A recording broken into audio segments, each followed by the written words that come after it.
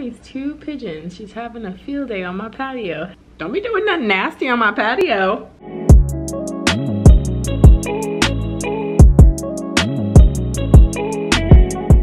What's up, y'all? If this hat doesn't scream that I'm just too lazy to do my hair today, then I don't know what does. I don't need to wear this. I really wanted to do a video on this wig that I got, but I also didn't want to do a video on this wig that I got. The compromise for myself is to do a vlog. I think I'm gonna go with the raw grittiness of a vlog, if that makes sense, because I don't know what I'm doing, because I can't plan a video. I don't know what I'm doing. My thought process was I wanted, I've been wanting to go ginger for a while. Also, since my name is Kim, hi guys, my name's Kim, if you didn't know.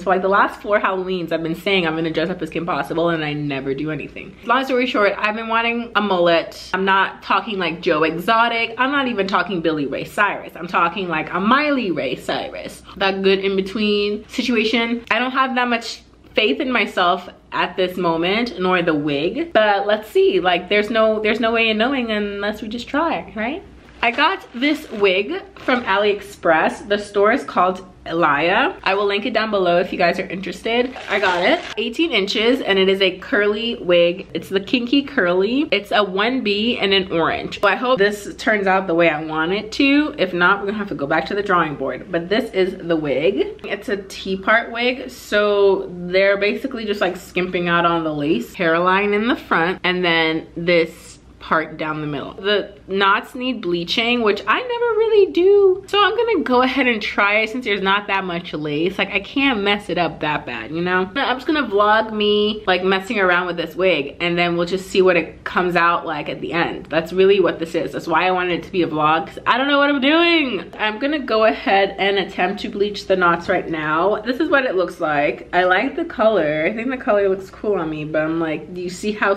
you see why I'm a little nervous about how this looks? Like this doesn't look flattering. Um, long story short, welcome to this vlog. I It's gonna be, just gonna start small and work my way up. So I'm gonna go in the middle first.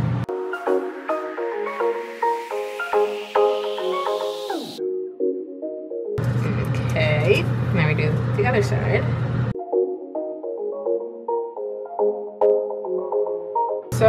Leave this like this. Maybe like 10, 15 minutes. That's that. I'm gonna leave that for the next 15 minutes and then I'm gonna rinse it. Then I'm going to wash the hair. I'm getting it all done tonight, y'all. And I did practice this haircut on another wig, so I know how to do the mullet cut that I want. Um, so yeah. So fun fact, bleaching that did absolutely nothing to the knots. The knots still look the exact same so i'm just not gonna bother. I had very minimal shedding when i washed it. Very minimal. Maybe like a couple strands of hair came out. This is what it looks like wet. This is the best smelling shampoo i've ever smelled in my entire life. Like i'm not even kidding. I it's like perfume. It smells expensive and luxurious. It smells amazing. The water ran out a little bit orange at first but then it cleared up so now I'm just gonna go ahead and cut it. I'll link the video down below that I used to help me learn how to do this cut. Pretty straightforward, so I'm probably just gonna time lapse it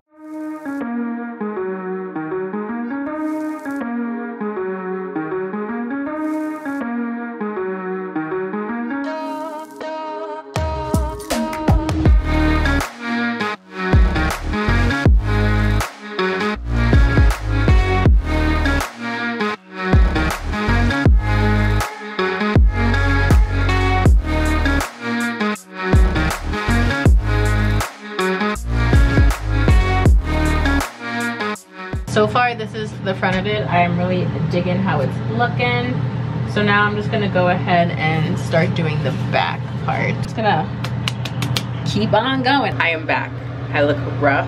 It's been like three hours. Let me tell you what I did. I went and I got food. And then while I was eating my food, I started the show Pose. And I got like two episodes in and they're like an hour each. So I basically watched a full length movie um, and now we're here. The hair is like drying at this point. I'm, I'm really digging the curl pattern.